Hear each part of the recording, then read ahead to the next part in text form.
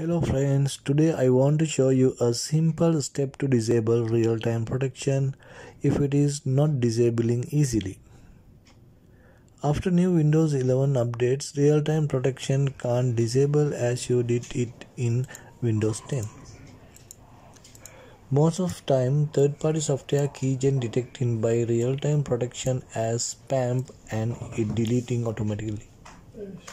So you have to disable real-time protection before you use the keygen.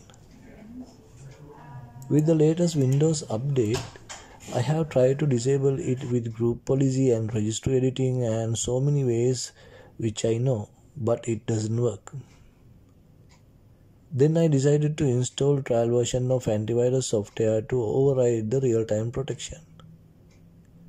Finally, after install the antivirus software, I was able to disable real-time protection. After use the keygen, I uninstalled the antivirus software. Maybe this will work with you as well. Try and let me know the result by comment.